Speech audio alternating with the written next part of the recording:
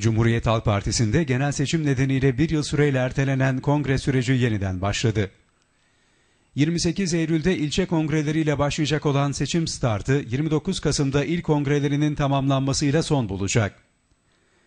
CHP Genel Merkezi tarafından il ve ilçe başkanlıklarına gönderilen takvime göre 20 Haziran tarihinde üye listelerinin hazırlanmasıyla başlayan süreç büyük kurultayla son bulacak. Aydın'da da CHP'nin tekrar hareketlenmesine neden olan kongre sürecinin diğer önemli tarihleri ise şöyle. 20 Temmuz üye çizelgelerinin genel sekreterlik tarafından gönderilmesi. 28 Temmuz üye listelerinin askıya çıkartılması. 15 Ağustos muhtarlık bölgesi delege ve ön seçmen seçimlerinin başlaması. 28 Eylül ilçe kongrelerinin başlama tarihi. 25 Ekim ilçe kongrelerinin bitiş tarihi. 11 Kasım il kongrelerinin başlama tarihi. 29 Kasım il kongrelerinin bitiş tarihi.